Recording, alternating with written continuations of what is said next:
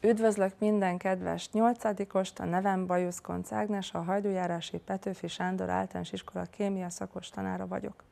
Az elmúlt órán a vas, az alumínium és a részt tulajdonságaival ismerkedtünk meg, a mai órán a fémek korróziójával és ötvezeteivel fogunk megismerkedni.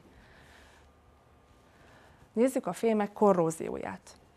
A korrózió az anyag felületéről a környezet hatására kiinduló elváltozás, amely kémiai, fizikai, kémiai folyamatok révén megy végbe. A korrózió megindulhat, hogyha a fématom elektront ad le, ennek hatására kell, hogy legyen egy elektron átvevő anyag, ami levegőoxigénje, a nedvesség, a különböző gázok és a talajban oldott vegyületek közül kerül ki. Ha a fémek korrózióját nézzük, két állapotra bonthatjuk, passzív és aktív állapotra. Először megnézzük a passzív állapotot. Ha a képet nézzük, itt egy kísérletet mutatok be, méghozzá egy alumínium rudat látunk. A fém felületét megcsiszolták, és vagy feloldották, és egy felsőbb réteget távolítottak el róla. Ezáltal ez az alumínium elveszítette a fényét, és a felületén egy idő után egy ilyen porszerű réteg képződött, ami egy oxidációs folyamatot jelent, és egy védő réteget képez, méghozzá ez a védő réteg egy tömör oxidréteg, összefüggő, jól tapadó réteg, és a további oxidációtól védő réteget képez az alumínium rúdnak. Ugyanerre képes még ilyen passzív állapotú védőréteget képezni a magnézium, a réz vagy az ólom. Nézzük a másik formáját a korróziónak, az aktív állapotot. Aktív állapotra a vasat hoztam példának, ha az oxidréteg laza szerkezetű, a levegő és a nedvesség áthatolhat rajta, a fém belső rétegeit is elérheti, ez az oxidációs folyamat. A vas felületén kialakuló rozsda laza szerkezetű, ezért ugye a vastárgyak fokozatosan eloxidálódnak. Azt mondjuk, hogy a, a rozsda megeszi a vasat, mint a képen is láthatjuk. Nézzünk egy kísérletet. Mi kell ahhoz, hogy valami rozsdásodjon, korodálódjon?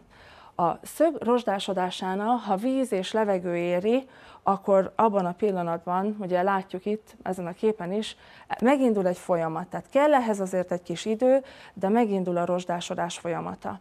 Hogyha csak vízbe rakjuk a vasszöget, és egy olajréteggel fedjük be a vizet, akkor viszont nem következik be a rozsdásodás.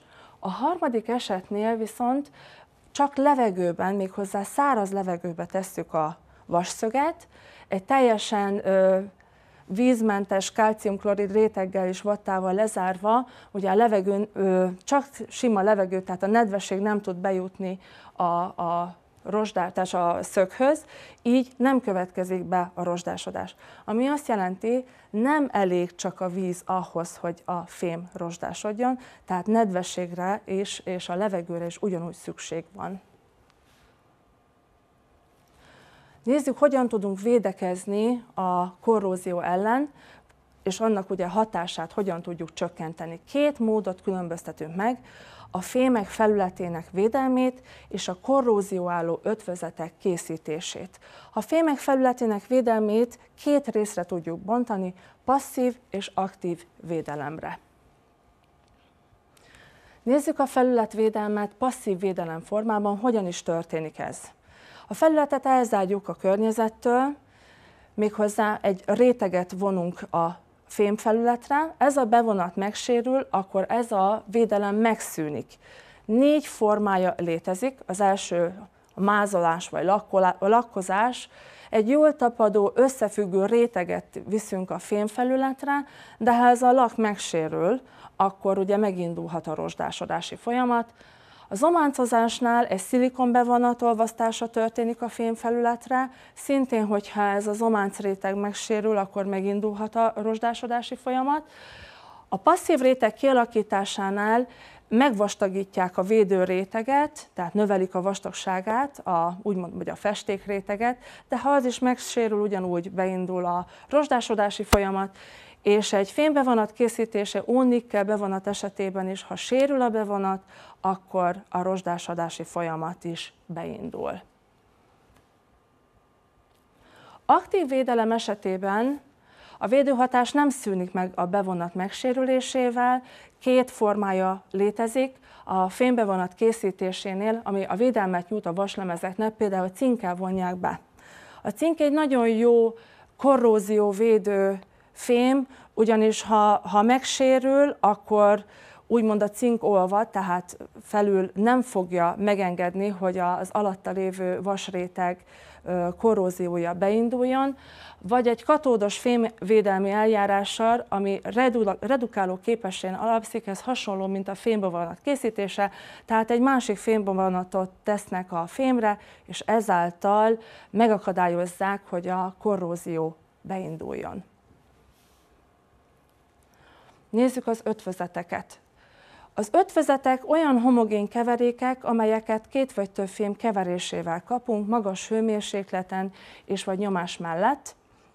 Különféle fémeket olvadékába hozzák létre, miután megszilárdult, az anyagok nem válnak el egymástól, akkor az egy jó ötvözetnek számít. A fémes kötésű összetett anyagok tudják létrehozni az ötvözetformát, itt ilyen esetben ugye a fizikai és kémiai tulajdonságai eltérő az őket alkotó fémek tulajdonságaitól. Tehát minőségben és egyéb fizikai, kémiai tulajdonságban is egy jobb ö, állapotot, egy jobb fém összetétel tudunk létrehozni. Nézzük az ötvezetek kialakulását és szerkezetét. Háromféle módozat van az ötvezetek kialakítására. Az első, olvadékból a kétféle fém külön-külön egymás mellett kialakult kristályokban szilárdul meg. Itt látjuk a képen, hogy hogyan néz ki ez a kétféle kristálykeverék. Például az ón és az ólom esetében tudunk létrehozni ilyen jellegű ötvezetet. Ha a kétféle fém hasonló tulajdonságú és méretű, egymás helyettesíthetik a az ötvözet rácsában, például az arany ezüst esetében, vagy a nikkel vas esetében, tehát egymásba befészkelik egymás helyére a, a fémek egymás, és ezáltal ugye létrehoznak egy nagyobb szilárdságú, kémiailag ellenállóbb anyagot, a harmadik esetben viszont az egyes atomok mérete közötti jelentős különbség miatt kisebb atomok a rács közötti hézakok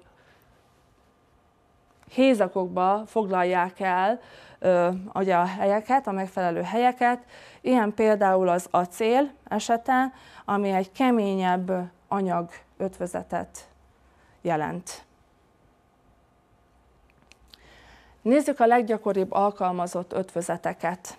Az első a képen, amit látunk, az ötvözött acél, tehát az acél, amelynek összetétele vas, szén és kromból áll, itt látjuk, hogy ugye a vas és a króm fém, a szén pedig egy nem fém, tehát ugyanúgy az ötvözéshez a nem fémeket is fel lehet használni. Egy áll, az állandó levegő és víz hatására korrózió állóvá válik. A sárga réz, a második eset, vagy második ötvözet, itt a sorban, réz és cinkből áll. Itt egy keményebb ö, anyagot tudunk létrehozni az eredeti réz és cinknél, a dur alumínium a következő, alumínium, réz, magnézium és mangánból ö, tevődik össze, könnyűvé, kemény és állandó a levegő és a víz hatására, tehát nem indul meg a korrózió.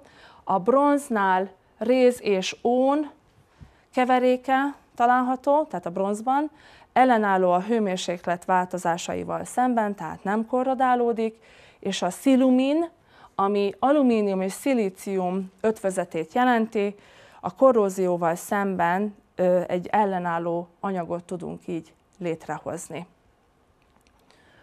Ha megnézzük a felhasználásukat, nagyon széles körű, itt néhány képben bemutatva, tehát ezeket nyilván bővíthettem volna. Az edények, ami szintén ö, ö, felhasználják, mint ötvöző anyagból létrehozott eszközök, akkor szobor az acél szerkezetét, hogyha említjük, hogy az építőiparban használják az ötvözeteket, a, az alumíniumot, a coca kis dobozokat, ami, hogyha meg tudjuk ezt nézni, úgy említeni, ezt tudjuk említeni, akkor a szerszámok és a repülőgép autóipar, ami használja nagyon nagy mennyiségben az ötvöző anyagokat. Az ehhez a részhez felhasznált irodalom a Gerundium és a Závod tankönyv 8. osztályára számára íródott tankönyv, és a Mozaik tankönyvkiadó szervetlen kémia 8. 8. osztályos tankönyve. Megköszönöm a figyelmet, jó tanulást kívánok!